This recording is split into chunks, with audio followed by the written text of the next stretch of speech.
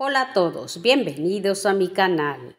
Como les dije en el video anterior, continuamos con el segundo eliminado de quién es la máscara. En este caso le tocó mostrar su identidad a Cornelio. Comenzamos.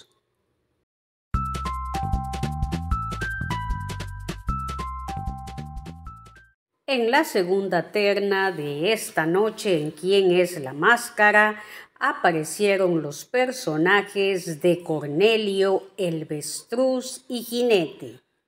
Para la segunda parte del programa, el mismo Adrián Uribe se unió a la mesa de panelistas y terminaron por salvar a El Vestruz. Luego el público se encargó de salvar a Jinete, dejando como eliminado al carismático Cornelio.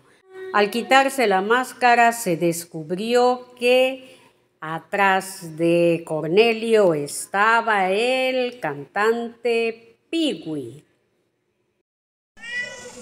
Y bien amigos, así es como concluye el segundo programa de ¿Quién es la máscara? Los eliminados fueron el rey egipcio y Cornelio. Les agradezco mucho su atención. Hasta la próxima.